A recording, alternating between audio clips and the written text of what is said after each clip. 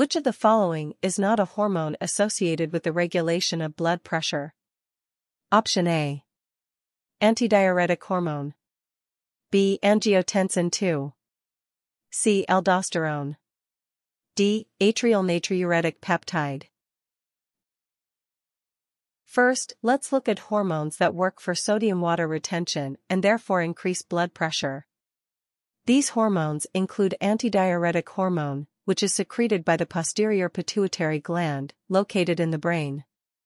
Then we have the liver, which is secreting angiotensinogen, which is then converted into angiotensin II, and it will increase blood pressure. The adrenal cortex can also secrete aldosterone, which increases blood pressure. These are the three hormones which are associated with increasing blood pressure.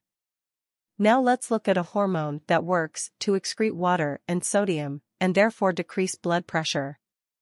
This hormone is surprisingly secreted from the heart, known as atrial natriuretic peptide. These are secreted by the atrial myocytes within the heart. Therefore all these hormones are associated with the regulation of blood pressure. If you find this video helpful, share it with others who may find it helpful too.